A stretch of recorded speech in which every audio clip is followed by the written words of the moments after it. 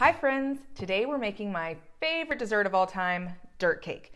So this is my aunt's recipe. She made it every family get together when I was growing up and I love it. And it was actually one of the first recipes I ever shared on the blog way back in 2013. And I'm going to a party tonight, Christmas party, and um, I'm making it. So I thought, why don't I make a video showing you guys how to make it? This is one of my most popular recipes, and I do get some questions about it sometimes. So I didn't want to do the little hands and pans overhead shot video. I wanted to actually show you guys as I make it in real time so I can address questions that I sometimes get. But first, let's talk ingredients. Okay, of course, the star of the show for our dirt cake is Oreos. I use a family size pack that's um, one pound, three ounces. If you can't find a family size, I recommend getting two smaller ones and just having extra Oreos uh, left over because extra Oreos are never a bad thing in my book. Okay, we have a third of a cup of butter and eight ounces of cream cheese. Both of these you want really soft. So I've had these out on the counter for about two hours because I want them to cream together with the powdered sugar as our first step. So I want to make sure they're nice and soft at room temperature. And then, of course, powdered sugar. I have a cup of powdered sugar here.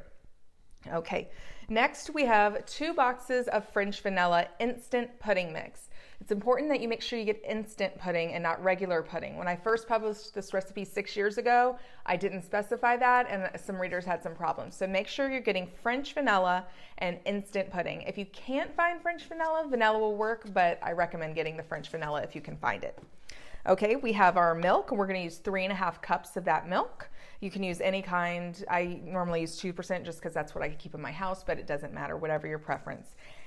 And finally, we have whipped cream. This is a big container. This is not, you're not to use the whole thing. You're going to use one of the smaller eight ounce containers. This is just what I had on hand, so I'm only going to use half of it. So we'll get started.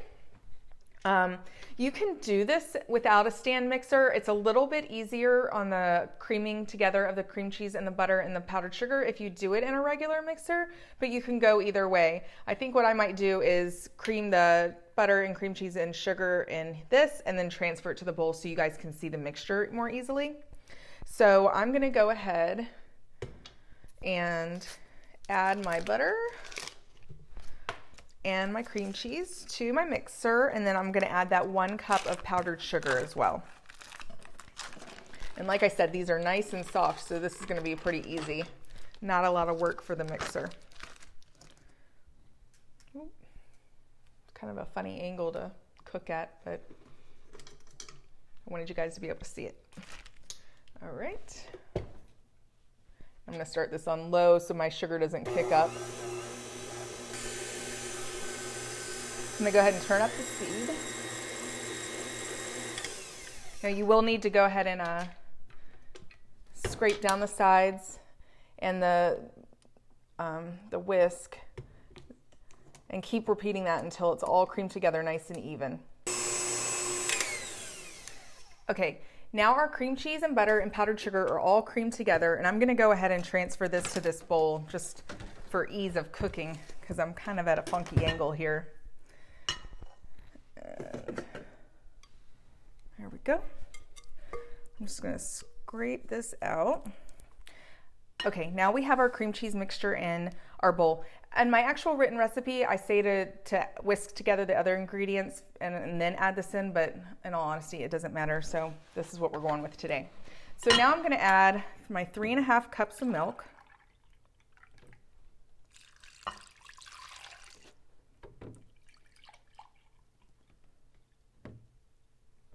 Go. And my pudding mix.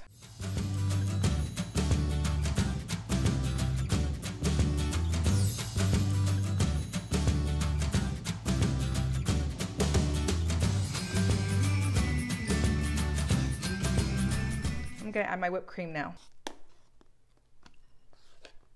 Okay, now that my cream cheese mixture, uh, whipped cream, pudding mix, milk, everything's all in a bowl. And I'm the best way to do this is with a whisk, not a spoon.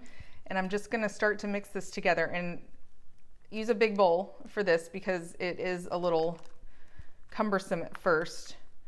So you don't splash it everywhere. And and again, you can do this in your stand mixer if you want to. I just wanted you guys to be able to see what I was doing. I thought the glass bowl would be a little easier. So it's starting to incorporate now. And if I, if you could see closer, you would see as I'm mixing, the, it's kind of yellow, more yellow on the bottom and lighter on the top where that Cool Whip or whipped cream is rising to the top. So you wanna make sure that you're mixing until it's all the same color and it's all incorporated. The past people have said they've had their mixtures been runny and I believe that was because they were not using the instant pudding. They were using regular. So make sure again that you get the instant. Uh, so I just have a few more little lumpy bumpies in here I'm trying to whisk out. Yeah. Okay, so you can see it's a nice thick mixture. It's uniform in color. There we go. And now we can start layering. I like to make mine in a trifle dish. You don't have to, but again, it's it's pretty and it'll be easy for you to see how I'm doing it. Now, as far as your Oreos, this this pack's empty. I've already um, crumbed my Oreos. I usually do that in my Ninja blender if you have a food processor. Before I had those, um, I would put all the Oreos in a big gallon bag and just like give my little boys a rolling pin and let them just crush them up. Just make sure that bag stays closed. It's a mess. Believe me, I know. Um, so however you do it, you need to crush your package of Oreos. If you want, if you're doing a trifle dish, sometimes I set aside an Oreo to kind of pluck on the top, but it's up to you. Okay, we're ready to do this. All right, I have my trifle dish, I have our kind of custardy layer, and I have my crushed Oreos. Now, um, the, like I mentioned, some people have it say that it's thin. Look at this. This is just a couple minutes after me mixing it up. You can see how thick this is. There's nothing thin about this. So if you're following the recipe properly, you should not have thin um, cream layer. Okay, I have my Oreos. They're very finely crushed. If there's some larger chunks in there, it's not a big deal. And I have a spoon and I have a ladle, okay? So the first thing I'm gonna do is I'm gonna use my ladle and I'm gonna add some, a layer of custard to the bottom. Okay, I'm gonna push it, put it in the middle, and I'm pushing the custard to the outside. This is how you're gonna get those pretty layers on the side. If you don't care, just throw it in there. But if you're taking it to a party like I am, you know, I'm gonna spend the extra time to make it look pretty in the trifle dish. So add the custard to the middle and push it to the outside gently. There we go. Make sure not to drip. And now I'm gonna add my Oreos. So I'm just gonna use a nice uh, kind of deeper spoon and I'm gonna just sprinkle a thin layer of Oreo.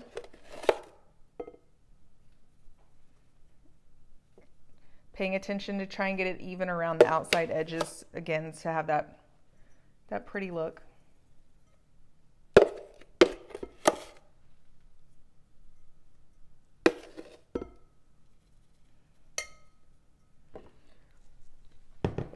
Now the second layer of custard is a little harder if you're trying to get that really nice and neat, pretty look. So again, I'm gonna dollop a nice, healthy amount right in the middle. Probably need a little more because you don't want to get the crumbs mixed up with the custard. So I'm gonna put, I put two big ladlefuls of the custard there. And again, I'm just gonna gently push until it touches the outside of my trifle dish. Just make sure that you don't get through the custard all the way down to the Oreo or you're gonna mix everything up and it's not gonna look pretty. So add more if you need to, like I just did.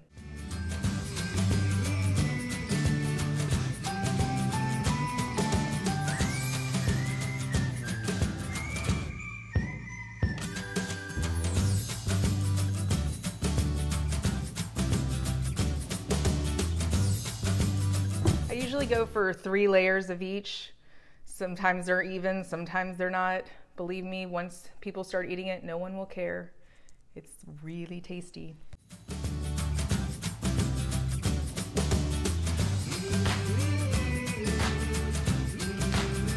Alrighty, and there you guys can see our pretty little dirt cake trifle. Now, I normally, like I said, I normally put a like one whole Oreo on the top if you're giving it to kids, it's fun to put some gummy worms in there. They like that. I do that a lot when I serve it single size. I'll do it in little cups and put worms in the top, like for birthday parties and stuff.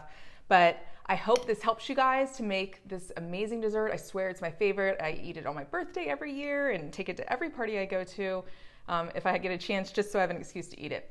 So I hope this helps, guys, and check out my blog for the full recipe. Bye.